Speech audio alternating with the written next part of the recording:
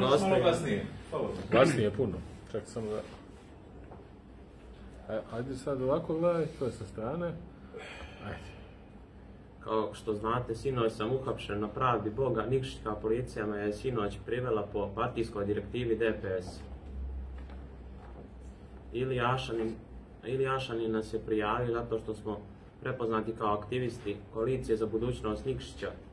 U, DPS-u vlada očigledna panika jer će biti ubedljivo poraženi 14. marta na lokalnim izborima u Nikšiću. Sinoć sam, se, sinoć sam se uvjerio da je, e, da je policija u Nikšiću još pod kontrolom DPS-a. To je to, jel? Ne, ne, ima još, brate, Ajde. sam. Ajde, nastavi tuđi stav. DPS. Hapsili su me prije 30. au- augusta, hapse me i sada moje, moje prijatelje, e, mene i moje prijatelje jer smo podržavali koaliciju za budućnost Crne Gore, a na ovim izborima koaliciju za budućnost Nikšića. Ne mogu. Ja. Dobro, jesi, jesi... Piše drugo, ja ga prepravljam. Nema, pa prepravljaj ga, ajde. dobro je.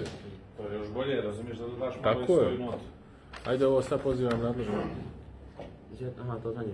Pozivamo nadležno ministarstvo da podhitno napravi neophodne promjene u Centru bezbjednosti e, Nikšić kako, kako više niko ne bi bio progonjen. Ajde, kako više niko ne bi bio progonjen, ponovi pa i ovo zadnje. Da ponovim ovo kako ne bi, Kako više niko ne bi bio progonjen, pa... kako više niko ne bi bio progonjen po, po partijskoj opet, znači, kako više niko ne bi bio progonjen po partijskoj i nacionalnoj osnovi. Znači, spoji ga skroz.